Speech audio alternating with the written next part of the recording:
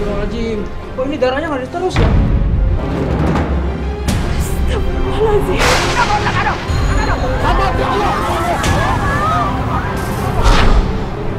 Berarti masjid udah bisa dihancurin. Siap bos. Kamu merubuhkan masjid? Masjid itu dibangun pakai uang aku. Dan aku nggak ikhlas.